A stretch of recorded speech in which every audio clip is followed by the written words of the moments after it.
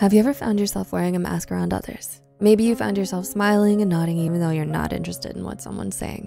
Or perhaps you even offer to help people with their plans even though you're not actually wanting to do so.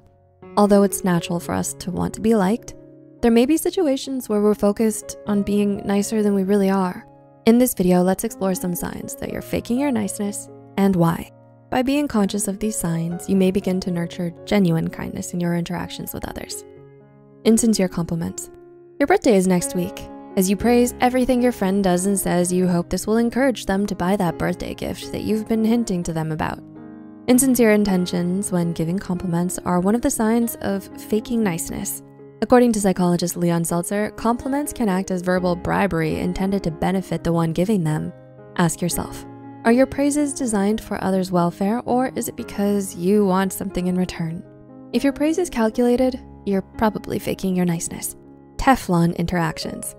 You are viewed as faking your niceness when you're overly agreeable. This is because you're sacrificing your own values and beliefs for the sake of pleasing others. In your interpersonal interactions, you may not communicate what you really think and instead say yes to everyone, resulting in a lack of authenticity.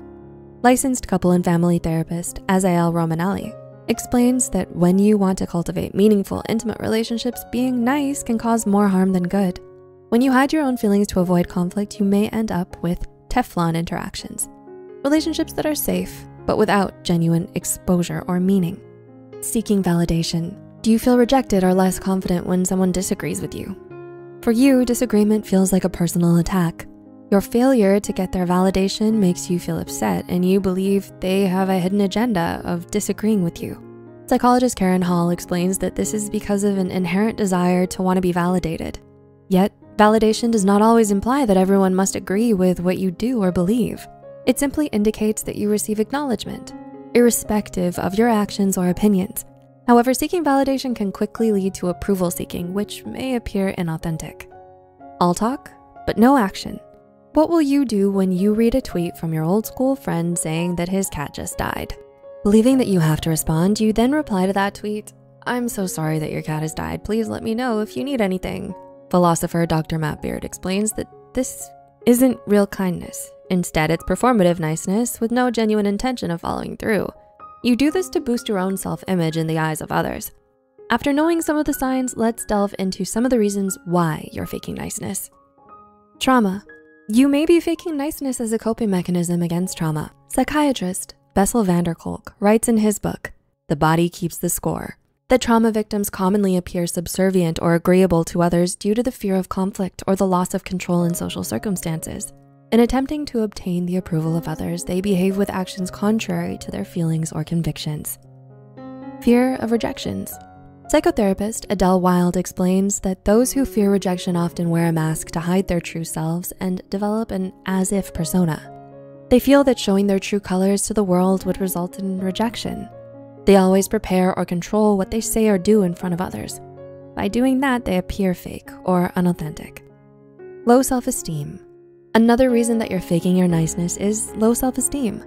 Researchers Leary and Kowalski note that when people have low self-esteem, they seek approval from others more often, and they're more likely to engage in impression management behaviors like faking their niceness. They believe that being overly nice will strengthen their social relationships and keep them from being disapproved of by others. Building healthy and meaningful relationships requires being honest and authentic to oneself.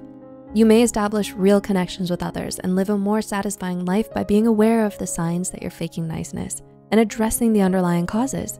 If you find this video helpful, please like, subscribe, and share with your loved ones. And always remember, you matter. Are you looking for a cuddly companion that brings positivity and mental wellness to your daily life? Get your very own Psi. The lovable plushie is here to brighten your days. It embodies the spirit of Psych2Go, and it serves as a reminder to prioritize your mental well-being.